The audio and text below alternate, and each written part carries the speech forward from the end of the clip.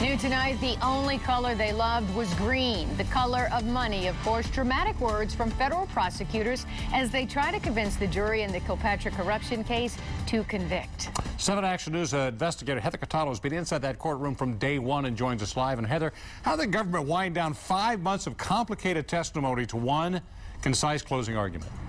Well, that had to be hard to do, but it was actually very well choreographed, bringing in wiretaps and those secret FBI videos. The question now is, will it be enough for the jury to connect the dots?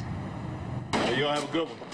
No comment from Kwame Kilpatrick on Kilpatrick Incorporated, the new name federal prosecutors gave to what they called Kilpatrick's private profit machine. During closing arguments in the Kilpatrick corruption trial, Assistant U.S. Attorney Michael Bullotta told the jury Detroit's former mayor robbed the people of their right to a fair and honest government, flashing images of cash on a huge screen and reminding the jury about ritzy vacations Kilpatrick's nonprofit once funded. Bullotta pointed out all of the money that poured into Kilpatrick's accounts while he was mayor. Bullotta even played once again the clip from a Channel 7 2001 debate where he says Kilpatrick lied to the voters. We haven't used one penny one penny of the civic fund in this campaign because it's not allowed by law. The federal prosecutor asked the jury to convict the former mayor, his father Bernard Kilpatrick, and his friend Bobby Ferguson, saying there was a clear pattern of criminal activity, including bribery and extortion, throughout Kilpatrick's time in office.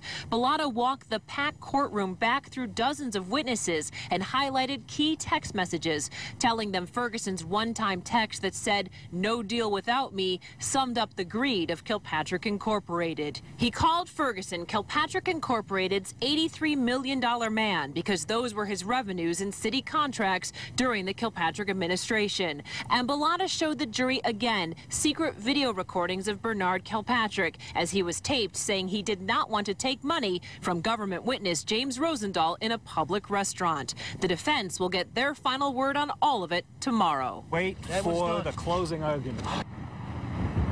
There were a few text messages and photographs that at times seemed a bit out of context compared to how they were originally presented to the jury. We'll see what the defense does with that in the days to come. And now, due to a schedule change, it looks like this case won't be in the jury's hands until Thursday. Reporting live at the federal courthouse in downtown Detroit, I'm Heather Catalano, 7 Action News. one way or the other, the end is in sight. Thanks, Heather. We saw